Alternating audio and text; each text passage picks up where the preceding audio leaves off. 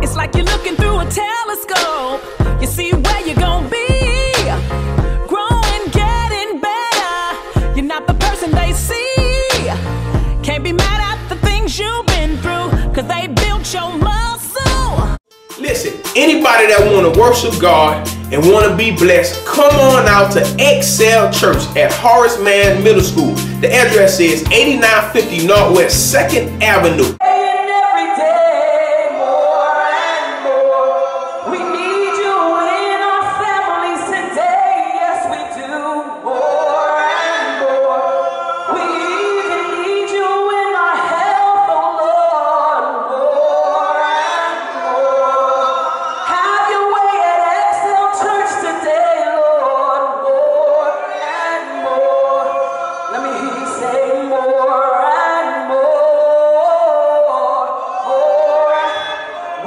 him to do for you today? More.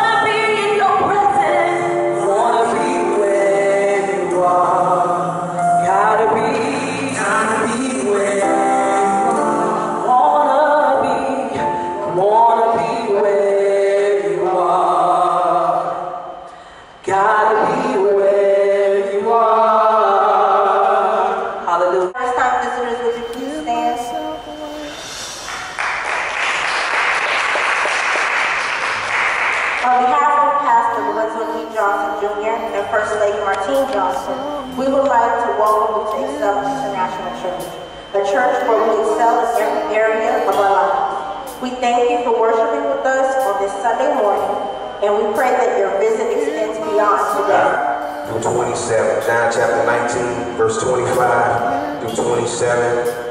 Amen. It reads, Now there stood by the cross of Jesus his mother and his mother's sister, Mary, the wife of Cleophas, and Mary Magdalene.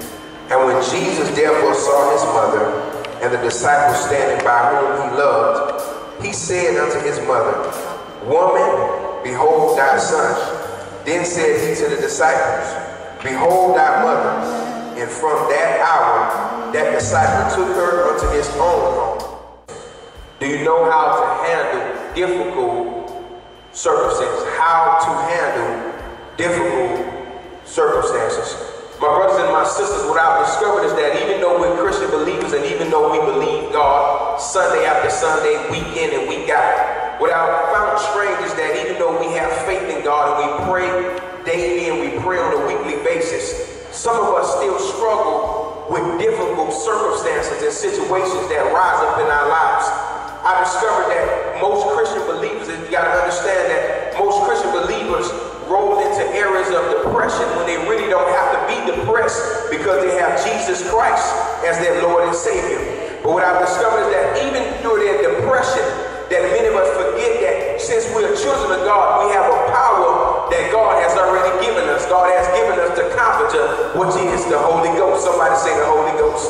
And even as God has left the comforter to comfort us, even in our times of transition, even our times of pain, even in our times when we don't know what to do or how to feel, I discovered that many of us still just don't know what to do when we're facing difficult situations. You gotta understand sometimes when things rise up in our lives, we feel like it's a dream or we don't even feel like it's real. But I came by here this morning just to let you all know that in spite of how difficult things may be, in spite of how difficult things may seem in your life that may rise up, realize that you're not alone, first of all, because the Bible says Jesus will never leave you nor forsake you.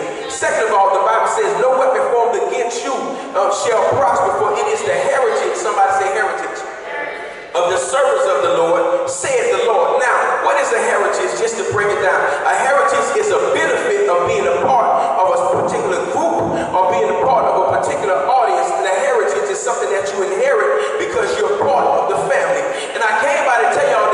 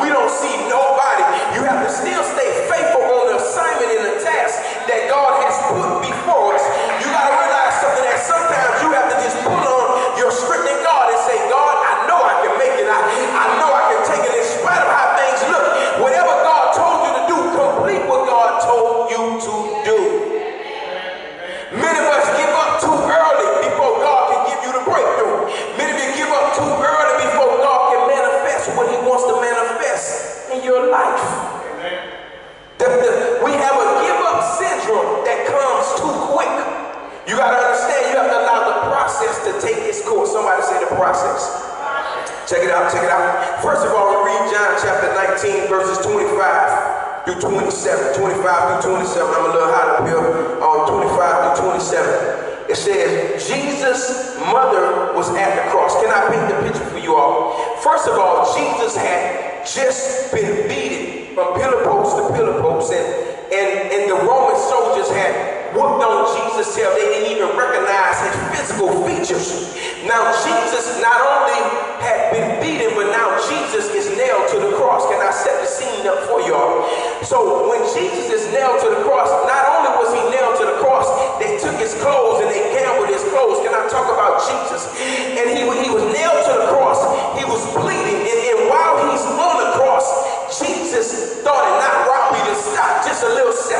for his mama. Are y'all hear what I'm saying? My brothers and my sisters, some of y'all in here could be going through it.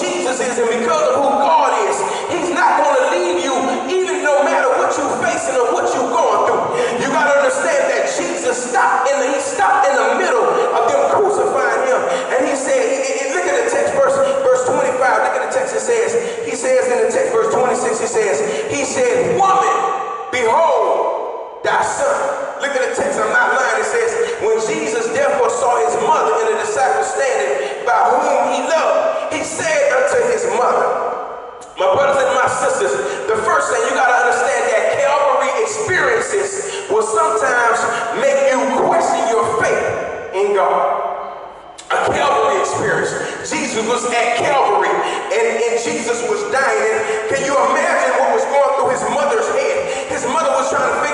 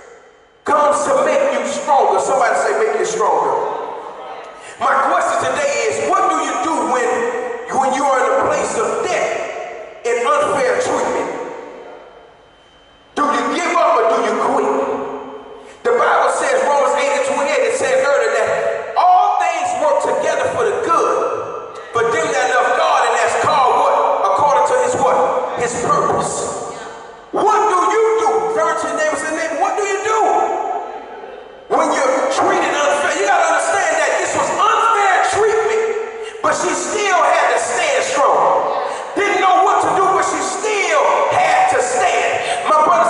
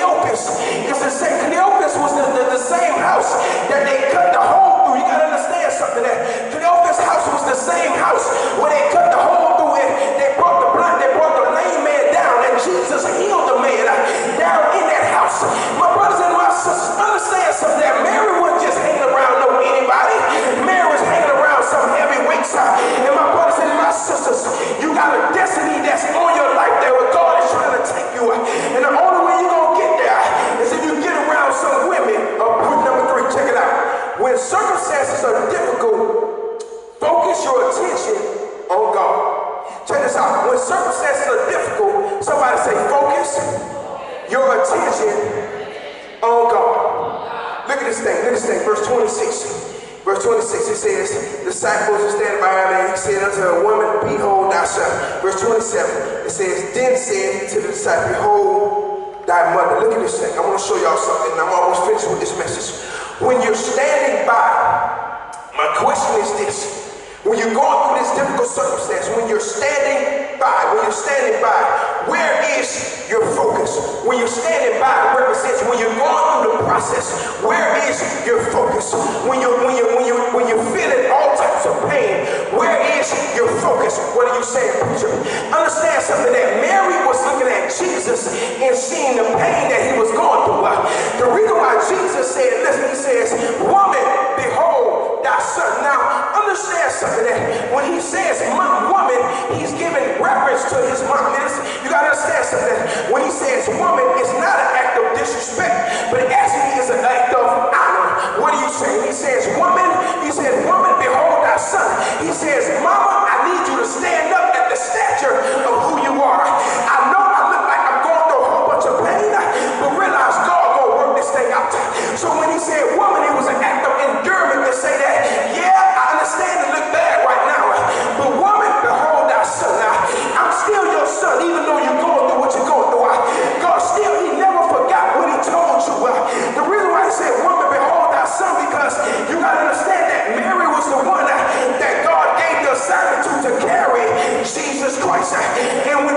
came into this world, Mary was the first person to understand and know who Jesus was.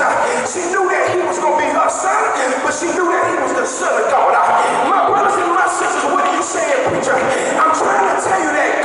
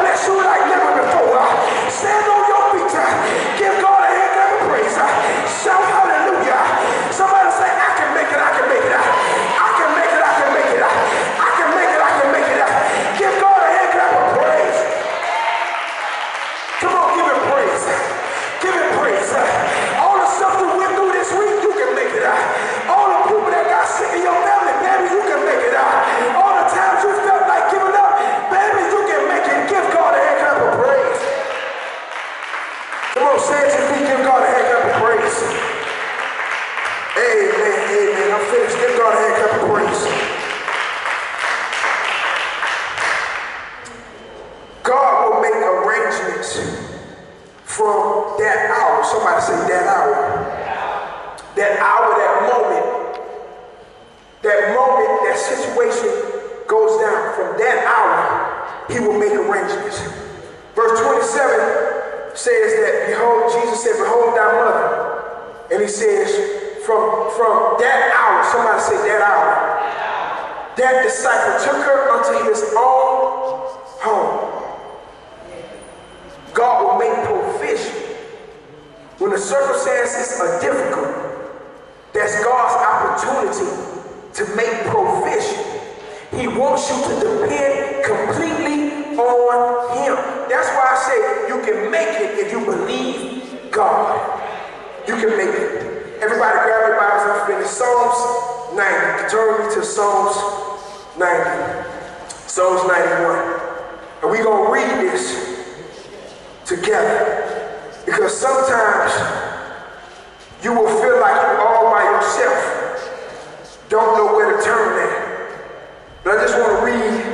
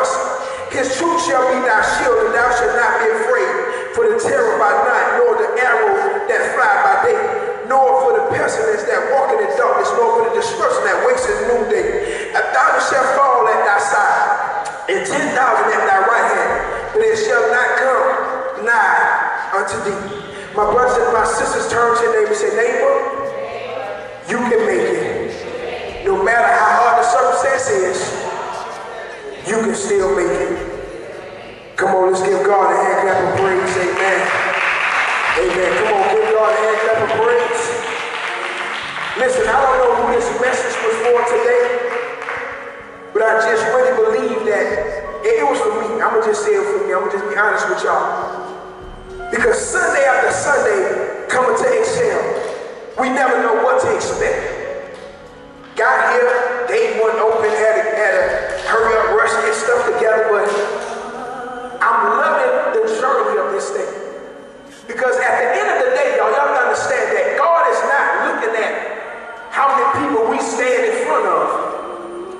But God is going to ask, were you faithful over the assignment that I gave you? You got to understand something. I didn't preach in front of thousands. I didn't, listen, somebody texted me this morning saying, where are you preaching at today? Because I be preaching different places. I said, I'm preaching at my church. What you talking about? I'm preaching where I'm preaching at today. You got to understand something that this thing, I've been preaching since I was 16 years old. I'm like an old man preaching now. It's been almost 18 years now. And what I've learned that now at this mark in ministry, that ain't a, this ain't about the hoopla, ain't about the crowd, ain't about the how many people see me. It's about God getting the glory. It's about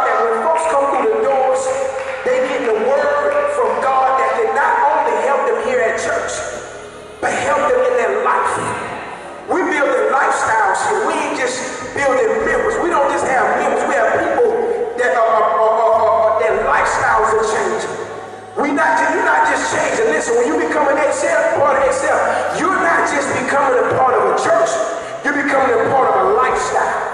Because we believe that we're going to excel in every area of our lives. Spiritually, financially, every area. And I pray, I say, God, as, as you as you give me wisdom to lead, that's what I want the folks to know. This is our lifestyle. We want God